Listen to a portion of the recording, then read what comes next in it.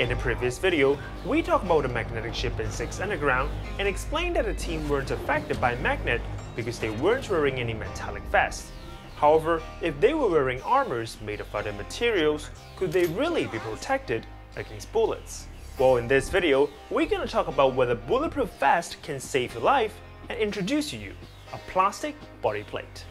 So the main purpose of a bulletproof vest is to absorb the energy of the bullet and avoid penetration into the body. When using hard body armor such as metal plate, what it does is to deform the bullet and reduce its energy. Traditionally, metal plates were used against pistols or shotguns because bullets back then were not as powerful. But as firepower increased and bullets managed to pierce through metals, people started to look out for other materials. In 19th century, soft armors became popular as different bulletproof armors were found across the globe. While Japan had the first silk armor, Korea had ones made of cotton.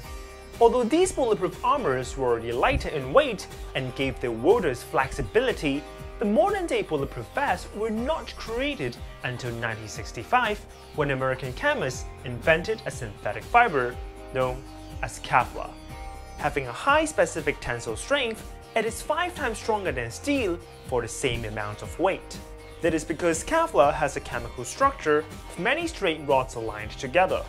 With strong hydrogen bonds between chains of molecules, it is like a bunch of pencils stuffed tightly and glued together.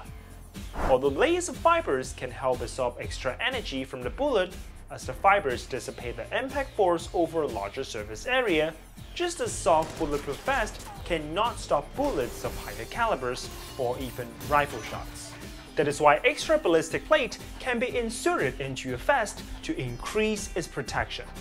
If you've ever played Call of Duty, you should recognize it as the armor plate that can be put into your vest to increase your health. Similar to bulletproof vest, the ballistic plate or armor plate or trauma plate or strike face, whatever you call it, can be made of different materials. If it is metal, it will most likely be steel or titanium, but if you don't want to be affected by magnet, ceramic may be a better option. Now for plastic, what I want to introduce to you is a material known as UHMWPE, which stands for Ultra High Molecular Weight Polyethylene. Being a thermoplastic, it is even tougher than Kevlar and is claimed to be 15 times stronger than steel for the same amount of weight. Compared with Kevlar, this material also consists of chains of molecules, but instead of strong hydrogen bonds, they only have weak electrostatic forces known as van der Waals forces between them. But because these molecules are extremely long, the high number of van der Waals forces outweighs individuals' weakness, making UHMWPE a tough and lightweight material perfect for making body plate.